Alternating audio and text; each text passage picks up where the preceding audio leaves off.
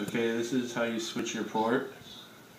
And you kind of want to do this almost every session unless you're going to use it like two or three days in a row because it gets stuck kind of and it's really hard to get off. But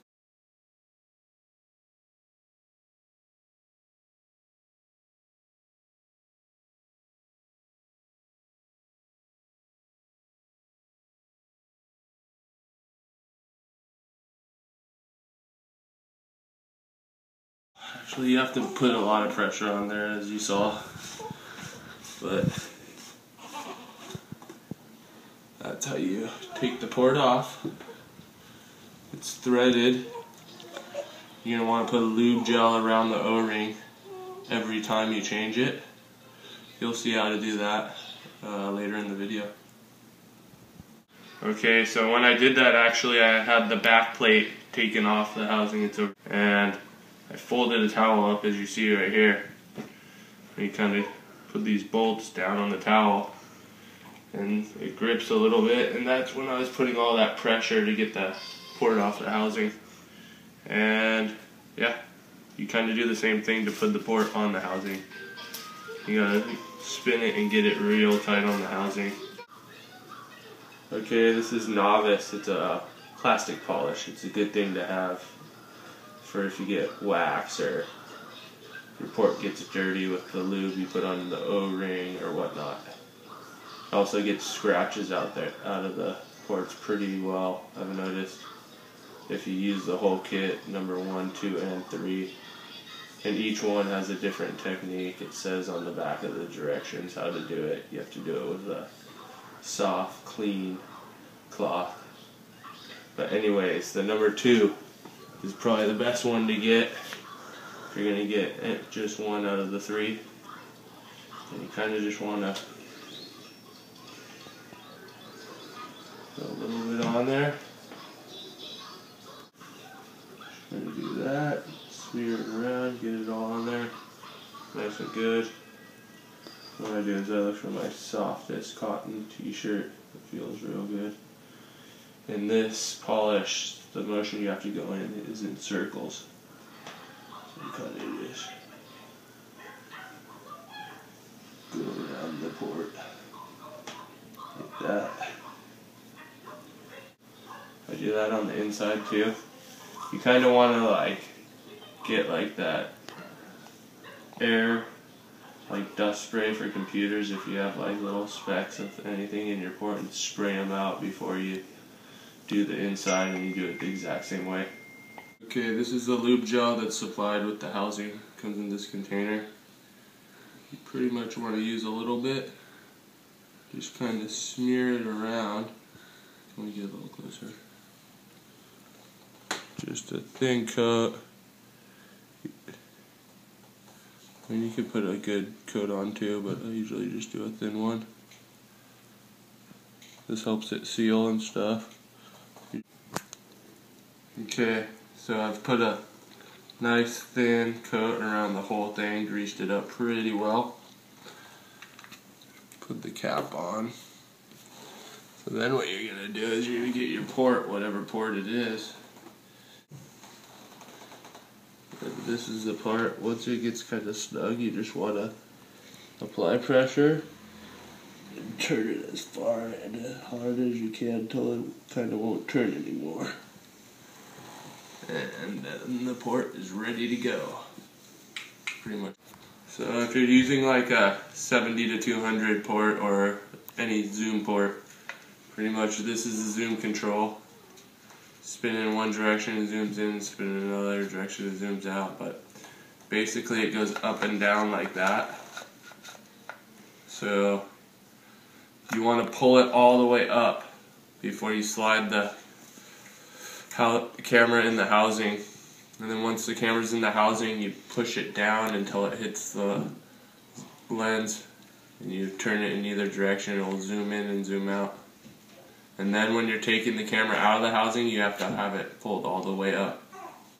I'm transporting the housing. I tuck this little wire up underneath this arm so it doesn't scratch the inside of the port. Then when I'm ready to use it I push it down take the wire out push the control back up. And both these controls should be all the way up. slide the camera in, then slide it down until it hits the control and works. And this right here, this arm, you control it and you can hit any of the buttons on the top of the uh, camera so you can work all those different controls. So every time you're going to take it out when you put in the housing, get the lube gel again, apply a thin layer on the o-ring. This helps. I mean you don't have to do it every session but I usually do. This helps the o-ring's life. Doesn't helps it not crack and stuff and it helps it seal with the plastic real well. So I usually just do this. You also want to try to keep your uh, fingers away from the port at this point once you get this stuff on there. You don't want to hit the port with this because you will get spots on your port and the way to get rid of that is lick it before you go out and get like a good amount of spit all around it and let it kind of dry while you're getting your fins on on the beach. And that usually is the best thing to get the water spots off the port. And you want to take it, put the control in there, have your settings however you want it. Pull the wire out, make sure this wire is in the middle and this one's going to go on the side. Boom. I usually tuck the wire up. This this housing has a preview control, so you need to make sure the wire doesn't get in its way. Turn it on. Always make sure you turn it on. It's the worst when you forget. Then get the wing nuts. You can also use hex nuts if you don't want the wing nuts, but then you gotta use a bolt driver every time you put it in and out. I kinda like wing nuts because you can do it with your fingers really fast. You don't need a tool. But the hex nuts don't stick out as far. Might be a little bit better for the 70 to 200 when you have to put your face to the eyepiece. But watch, like, see right here where it's black and then not so black. It's like gray, kind of. When you put the wing nut on, it seals black. You don't have to go much tighter than that. You watch it just clamp down and it's sealed. I usually go corner to corner once I got them all on. I usually go around and check it once more. Check every single one to make sure I didn't forget any. But that's ready to go. Then the video control, pretty much where this line is, you flip it right there when you're ready to record and you hit down and record. But to turn it off and on, you flip it all the way over. And if you get in there, you can see there's a little rubber piece. You just kind of nudge it and it comes on. So you can flip from video mode back to photo. Just gotta, gotta play with it to get used to it. That's how the video controls work. And you have to flip it around and hit down to make it record. Pull it up, flip it around if you want to go from video mode to photo mode. This camera has a GoPro mount. It's a quick release. I usually leave a little piece of plastic on some housings so you can mount a GoPro and shoot video while you're shooting the photos. And I have special, special nylon wing nuts and hex nuts I like to use those better than uh, stainless. I found out because stainless can lead to problems down the line. And yeah that's pretty much the housing. Okay right now I'm going to show you how to pressure test your housing in case you're on a trip or something happens. You hit the reef and you're in a remote spot and you want to figure out exactly where the housing is leaking because you can't get it in to get serviced or whatnot. This will apply with any housing. So you need some painter's tape, and then you want to get the wire. You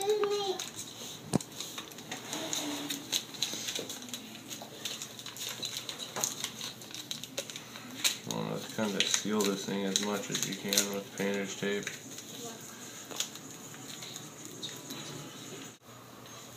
Usually shorten it a little bit too. Daddy.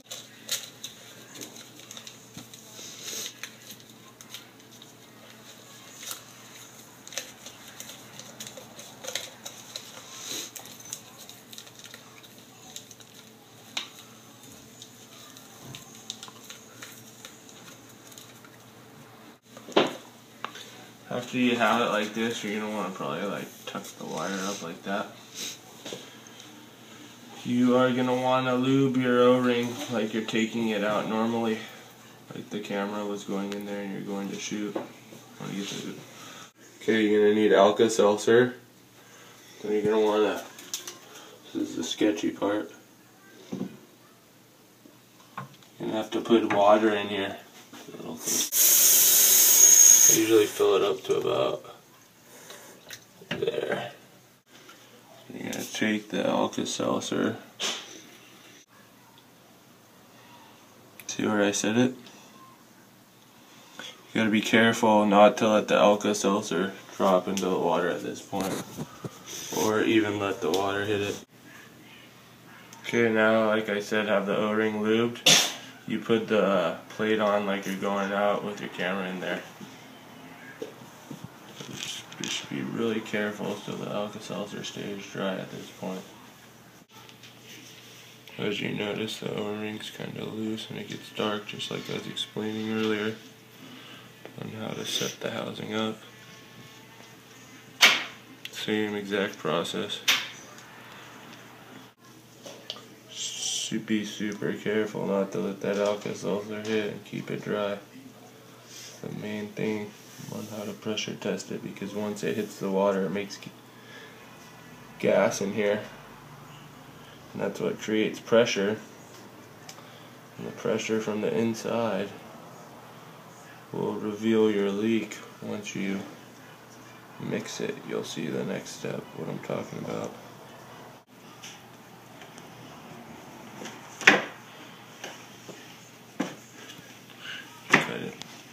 Okay, at this point, you want to have a Rubbermaid storage container full of water, then the Alka-Seltzer, see it's still dry. See it in there? You're just gonna kind of tilt it. I kind of tilt it so the wire stays dry. And you're just gonna hold it like this. At this point, you're just waiting for the Alka-Seltzer to mix thoroughly. And if there is any leaks, you'll see little air bubbles streaming out of the leak or where the housing's leaking. And it's kind of like when you fix a bicycle tube. I don't know if many of you people do that, but when you fix a bicycle tube, you kind of do the same type of deal. You put it in, you find where the little air bubbles are streaming out of, then you know exactly where your leak is. You only really get that if you bash the reef or the housing gets thrown around and transport or something. Sometimes I'll tilt it like this too, just to make sure the port's all good, nothing wrong with the port. Port's sealed in the port. But watch when you undo it, you're gonna hear the air come out. Get close. That's pretty much how you test your housing to make sure there's no problems. You gotta concentrate and keep the wire dry as much as possible. That's why I put the tape on there in case it gets a little dab of water on it. And after you want to rinse it out with water, fresh water, much as you can. Just hold the wire out of the way of the water. I'll show you. And take the port off. let the housing dry out for a few hours or a day without the plate or the port on and spray it out with maybe a computer dust off.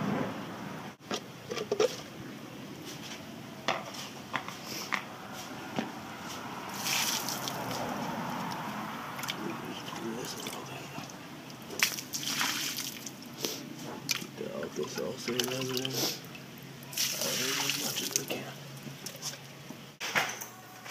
At this point you want to take the port off again.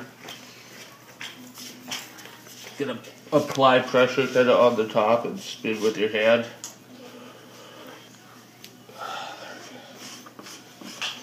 Probably good to do that every session. I don't, but just keep it loose. Get your towel and dry the threads. Pretty much gonna just dry out the whole housing as much as you can. Alright, you take off all the tape. Gonna be gentle too, not to rip the wire out, screw the connection up. There you go, the wire's completely dry. No water hit that. Housing's good, I'm gonna leave it out for a few hours to dry. Okay, you wanna have like a dust off can or something. Try to get that clean to make sure there's no water and then right here, this push button, the one that controls the camera shutter get really close to it because water gets trapped right there a little bit inside of it. Just kind of spray it inside of where it pushes out to get any of the water that was trapped. Where you tested. Stop for a second. Okay, so grab the port you tested it with and get inside the seams right there because that's where the water gets trapped and you don't want water in there after you seal it so just kind of like clean it pretty well and rub the grease off because you're gonna redo it so yeah you want to get the water out of here too and there's a little ridge just dry it as much as you can now it's time to polish and clean the whole housing. At this point, just dry the plate off. Gonna clean and polish the housing like I showed earlier in the video. Just leave it all disassembled for a few hours to let it dry out. Just polish everything and your housing's ready to go. Okay, this is the stuff you need to bring with you on a trip to a remote place or whatnot in case you can't get a hold of some me. Just ship your housing back if you ever have a problem hitting the reef or something goes wrong. This right here, JB KwikWeld, is for like if your control comes loose or something, you can glue it back onto the metal stainless steel rod, the plastic piece or something. This right here, PC11, it's a white epoxy. You mix half and half together. Read the instructions on the pack. It's for if you got like a hole in the housing, somehow you dropped it or hit the reef or someone's board hit you, etc. This is kind of the same thing. It's a putty, and you do the same thing. You can patch holes and whatnot with it. It's a good thing to have. And some latex gloves, super glue, Alka-Seltzer to pressure test your housing, and some popsicle sticks to mix these glues once you open them. Use the gloves so you don't get the glue on your hands. And that's that.